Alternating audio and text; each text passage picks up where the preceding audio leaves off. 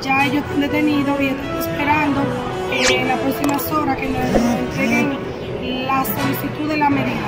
¿Qué, qué esperan? ¿Qué espera? Nosotros esperamos de medida de cohesión un año y ocho meses, porque el caso es complejo.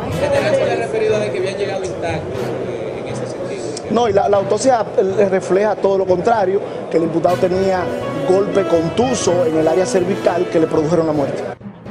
Piden un año y ocho meses de prisión preventiva para los policías implicados en el caso del barbero de Cienfuegos.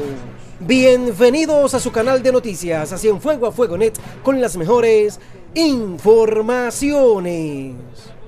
En la mañana de hoy, la representante legal del fallecido barbero de Cienfuegos, Richard Rafael Valls, dejó claro a los medios de la prensa que estos solicitarán un año y ocho meses de prisión contra los agentes involucrados en el deceso del joven, ya que el caso está siendo declarado como un caso complejo. También pidió a las autoridades que se sometan ante la justicia a todas las personas que estuvieron involucradas en cada departamento por donde se procesó el apresamiento del joven. Se ha depositado la medida de, cohesión, la solicitud de la medida, porque todavía estamos bajo investigación. Y todavía no está preparado el documento para conocerse eh, en audiencia. Ok. Y vemos que también se ha reunido el fiscal con los familiares y ustedes también como representante legal. Sí, eh, re- estamos reunidos porque eh, le están dando un seguimiento al proceso. Ok. ¿Ha habido alguna situación eh, o qué? No, todavía no ha habido situaciones. Las situaciones estaban antes de que ellos no, no estaban detenidos y esa era la preocupación de nosotros, pero en virtud de que el Ministerio Público le, le ha dado un seguimiento, ya ellos están detenidos y están esperando eh, en las próximas horas que nos, nos entreguen la solicitud de la medida. ¿Qué, qué esperan?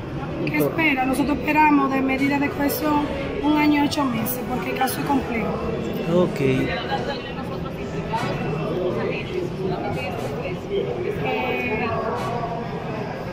Creo que toda la persona que, pas- que Richa pasó por el, por el lado tiene que ser sometida, todo el que, por, por todos los departamentos que él pasó.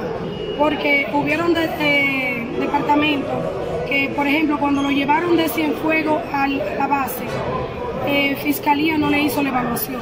La, eva- la evaluación apareció después que él tuvo interno, que le causó el trauma.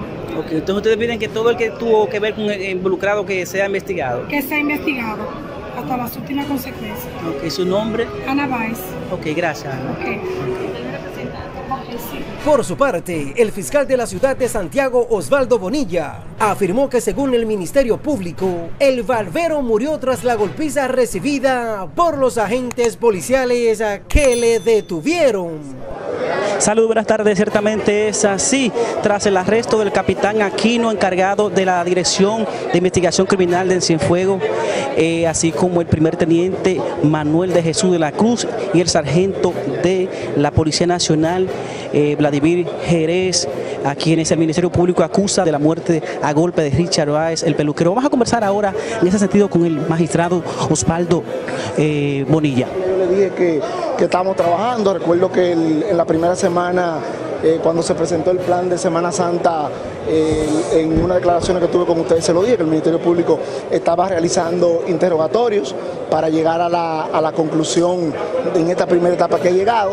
Y a partir de que recibimos la autopsia del, del INACI la semana pasada, entonces, conjuntamente con la Procuraduría General de la República, se tomó la decisión de presentar la medida de coerción en el día de, hoy. Y si Dios quiere, al final del día vamos a presentar la medida contra tres eh, policías imputados de golpe que produjeron la muerte, de homicidio y imputados de robo porque los testigos han narrado de, de manera categórica que el imputado tenía un dinero que fue sustraído al momento del arresto.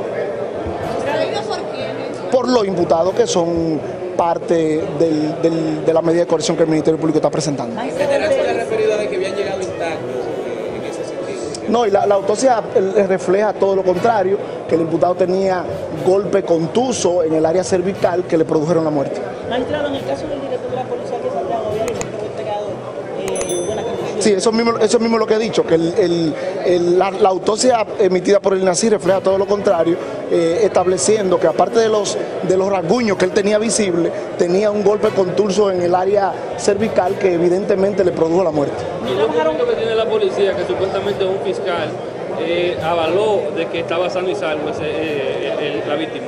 Bueno, el fiscal eh, recibe el detenido, pero, pero eh, quien hace la evaluación en algún momento principal es el INACI o, en primario, pero ya cuando el imputado se agrava en la carcelita preventiva es que nos damos cuenta que tiene una, un golpe que le produjo la muerte por necesidad posteriormente el Ministerio Público estará pidiendo prisión preventiva, eh, declaratoria de caso complejo, porque seguiremos eh, trabajando el caso en lo adelante para determinar si pueden haber otras características que nos pueden llegar a descubrir toda la verdad. Magistrado, decía eh, en el caso, en este caso que ha sido, que se suma a otro de persona que ha sido detenida y después resulta muerto, la sociedad se ha preguntado realmente en el caso de Santiago, ¿por qué tanto tiempo, casi a más de un mes?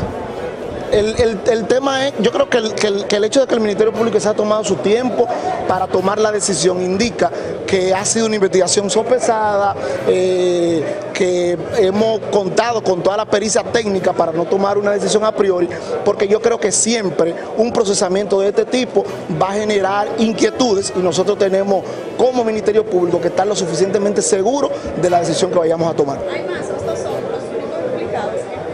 Hasta ahora esa es la decisión del Ministerio Público.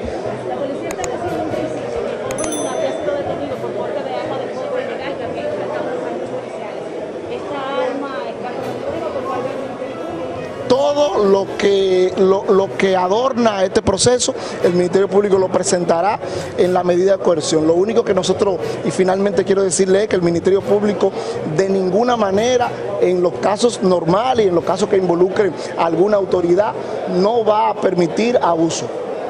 Hoy tenemos el caso Falcón. ¿A quiénes le están revisando la medida de coerción?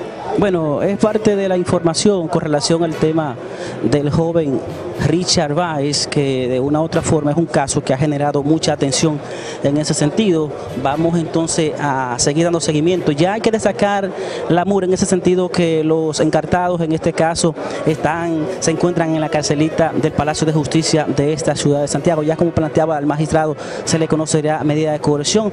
Ahí está el caso, manifestaba en ese sentido el Ministerio Público de que los miembros de la uniformada, según su acusación, incurrieron en los delitos de asociación de malhechores, homicidio, así como robo. Vamos a escuchar, vamos a más adelante entonces a dar seguimiento a todo este importante caso que de una u otra forma eh, ha repercutido en la sociedad dominicana. Más adelante conversaremos también con los familiares de Richard Baez, otro caso que se suma a, hechos similares como a otros ciudadanos que han muerto a manos de agentes policiales en medio de detención. De esta forma retornamos Y ustedes, queridos suscriptores, ¿qué opinan de todo lo que está trascendiendo con este caso en la ciudad de Santiago? No se vayan sin dejar su opinión porque es muy importante para todos nosotros. Y recuerda, si te gusta el contenido que realizamos, apóyanos suscribiéndote a nuestro canal, activa la campanita, comenta, comparte y dale like.